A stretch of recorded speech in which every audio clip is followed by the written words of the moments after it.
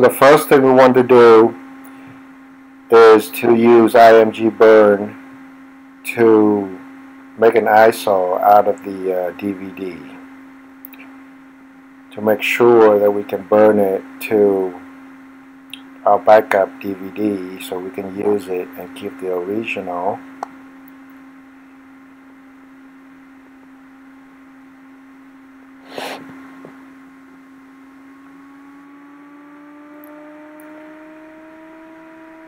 So when we're done with that, we just rename it so we know which ISO it is. So we can burn it to a blank DVD.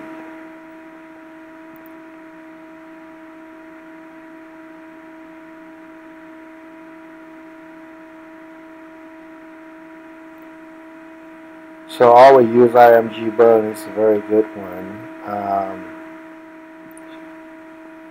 we need to choose the lowest possible writing speed on our DVD writer. So normally I use 2.4 but uh, on this one uh, we have to use minimum is 3 and make sure that we check the verify to make sure that after they burn the DVD, you can verify the data with the ISO to make sure that everything is copied correctly. So that's the most important thing.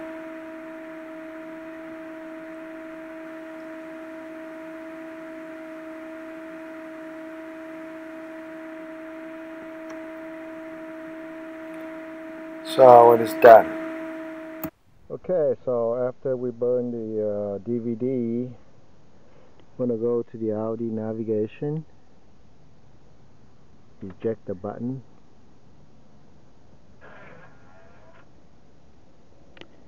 and we take out the old one.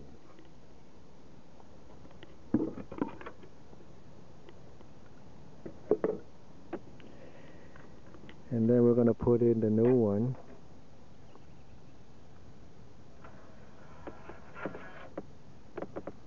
Okay, so let's go to the front.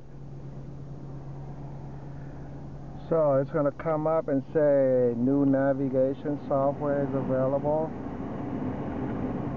You want to install. So click yes.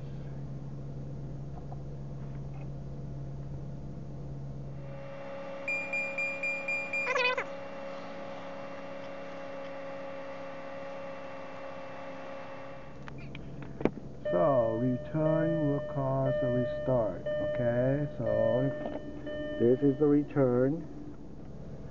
So this is 2006 Audi A8L, and this map is uh, US 1516.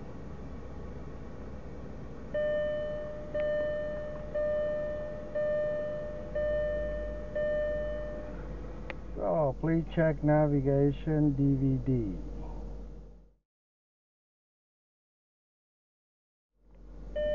So to look at the navigation.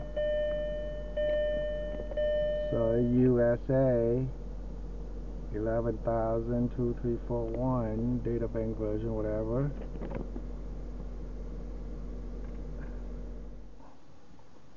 How do we find out a DVD?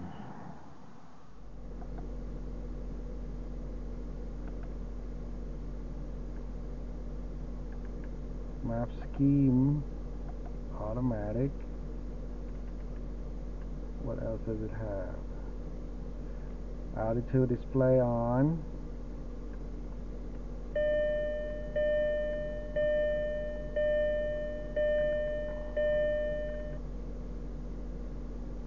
So version information. So it's there. Setting. Version